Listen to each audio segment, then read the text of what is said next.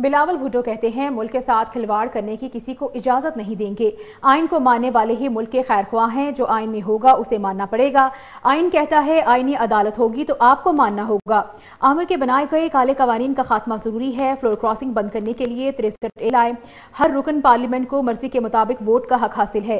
Chairman peoples party Bilawal Bhutto का Balochistan bar association से खिताब, उन्होंने कहा कि उन्नीस सौ तिहत्तर के आइन को इसकी रूह के मुताबिक बहाल किया।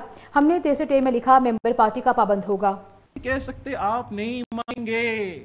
जो आइन होगा, आप मानेंगे।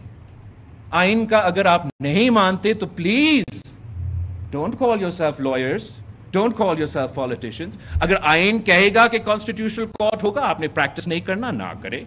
आप एतराज़ ना करें बट आप आइन को कैसे नहीं माने?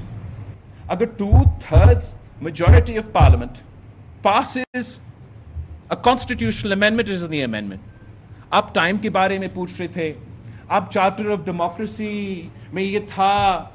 आपने 2008 में 2013 तक क्यों नहीं किया? करना चाह रहे थे।